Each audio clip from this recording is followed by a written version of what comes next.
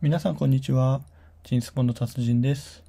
今回は大阪の松島新地を紹介したいと思います。はい、ということでやってきました。最寄り駅は阪神電車と中央線の九条駅になります。こっちが中央線ですね。でこの高架沿いに歩いていってちょっと右に入ったところに松島新地はあります。あの大阪には言わずと知れた飛田新地を筆頭に松島篠田山今里滝井という5つの新地がありまして大阪五大新地なんて呼ばれてたりするんですけど松島新地は飛田に続いて2番目の規模を誇ります。新地っていうのはちょんの間のことで一応説明しておくと料亭に来たお客さんとそこで働く仲居さんが一瞬で恋に落ちて自由恋愛の上で男女の仲になる場所ですね。なのでどのお店にも松島料理組合という提灯が掲げられてます。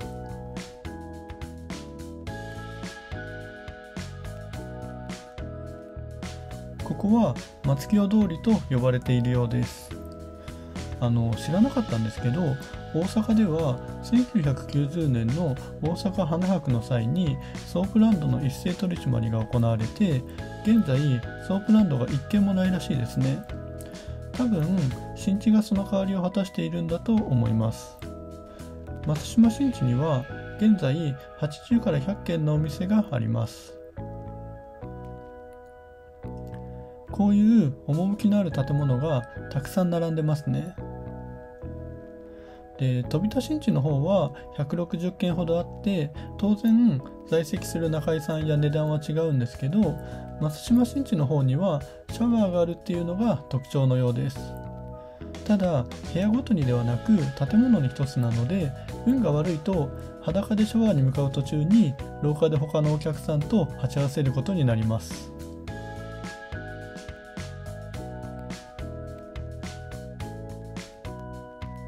こちらはメイン通りになります。あの朝9時ぐらいに行ったんですけど全然車も通らないし街並みも看板とか統一感があるしあとゴミも全く落ちてなくてすごく綺麗なところっていう印象でした。なんかもともとは現在の千代崎1、2丁目にあったんですけど大阪大空襲で消失して現在の場所に移ってきたみたいです。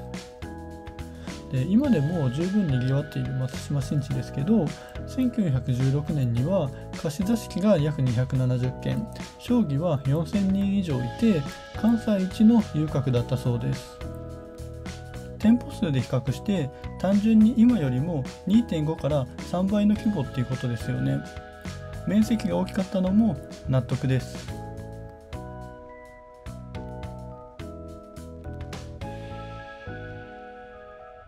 とちょっと気になったのが新地内にマンションがあって普通に暮らしている人たちがいるっていうところですね。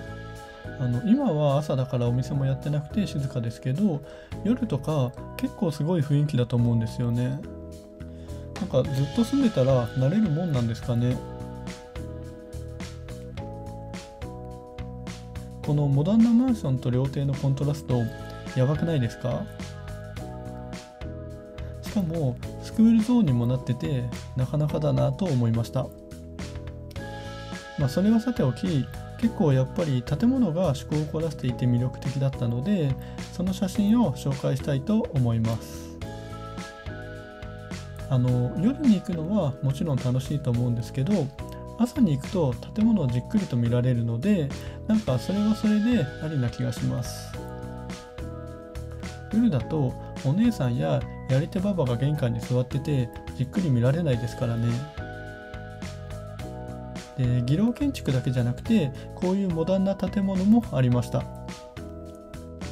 色に凝ってる建物もあってあのこれとかお店の名前も緑になっています。でこっちはなんか人の顔に見えないですか？これも可愛らしいですよね。このお店はかぐや姫って言うんですけどお店の名前と建物がなんかマッチしてますよね。はいということで今回は以上となります。